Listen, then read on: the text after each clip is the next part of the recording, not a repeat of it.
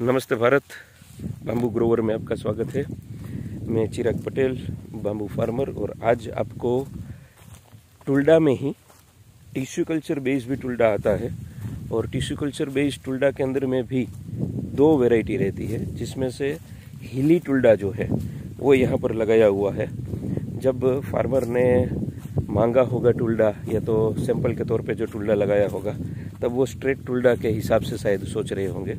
लेकिन आज जब हम यहाँ पर फार्म विज़िट के लिए आए हुए हैं और हमने देखा तो यहाँ पर निश्चित तौर पे ये हिली टुल्डा जो है, ये यहाँ पर लगाया हुआ है।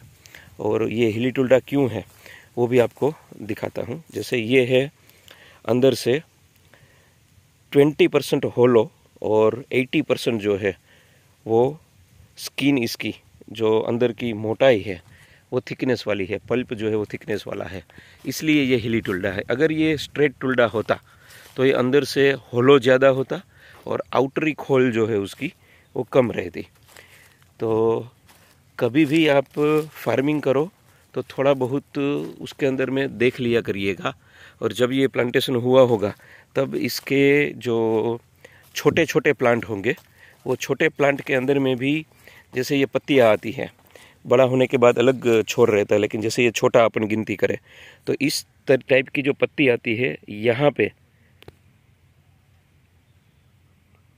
मैं दिखा पाऊँ तो देखता हूँ थोड़ा। यहाँ पे बाल जो है छोटे छोटे वो बाल होने चाहिए। अगर वो बाल है, हर पत्तियों के बीच में तो उसका मतलब स्ट्रेट टुल्डा रहता है। स्ट्रेट टुल्डा की वो खासियत है। और हिली टुल्डा के अंदर में वो आता नहीं है। बेसिकली उगा तो बहुत बढ़िया है हाइट भी 20 फीट 22 फीट के आसपास में ली हुई है। पोल की संख्या भी इसके अंदर में बढ़िया है। लेकिन इसके अंदर में सिर्फ़ एक ही चीज़ है, और वो है ये साइड ब्रांच जो है। वो साइड ब्रांच निकलता है और छोटा नहीं थिकनेस के अंदर में साइड ब्रांच बड़ा भी इसमें निकलता है। सिर्फ़ टुल्डा के अंदर में ये फ़र्क जो है, ये मोटा फ़र्क उसके अंदर में आता है। बाकी बाँस कोई भी हो कोई भी प्रजाति का हो हर एक बाँस बायोमास के लिए तो काम में, उपयोग में आता ही है।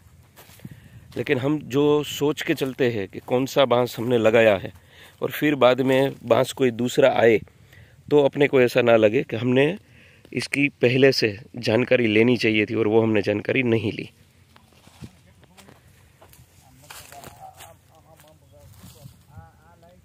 तो आप भी हमारे साथ में बाम्बू रिलेटेड फ़ार्मिंग कर सकते हैं।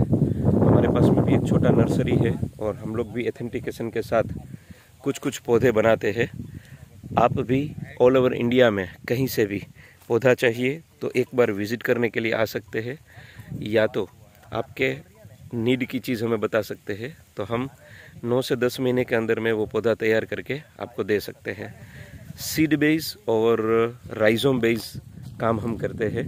साथ में कई प्लांट ऐसे हैं जिसके सीड 60 साल 50 साल या 80 साल से नहीं आए हैं तो उसका हम प्रोपोगेशन से भी काम करते हैं।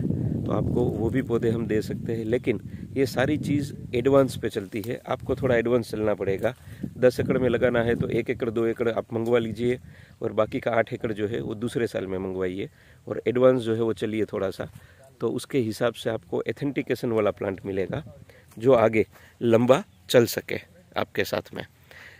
और यहाँ पर दूसरे पौधे भी लगे हुए हैं, जैसे बलकुआ वेराइटी लगा हुआ है और दूसरी तीन चार किस्म भी लगी हुई है।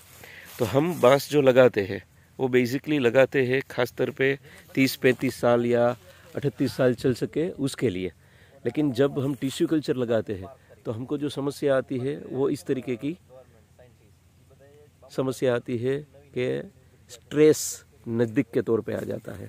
और वो नज़दीक में स्ट्रेस आ जाने के कारण हम लोगों को जो 40 साल चलाना है 35 साल चलाना है, वो हम 35-40 साल चला नहीं पाते हैं। एक आप देख सकते हैं।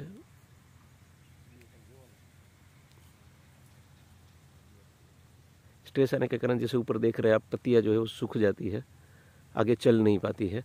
पत्तियों का रूप जो है, वो उसका खोल ले लेता है।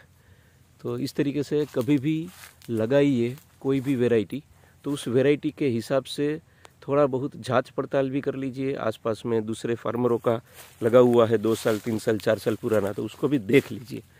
देखने के बाद में आपको लगता है कहाँ ठीक है, हमारे लिए ये आवश्यक है तो आप लगाइए। अदरवाइज़ सीड बेस के पौधे लगाइए जो लंबा चला पाओ आप।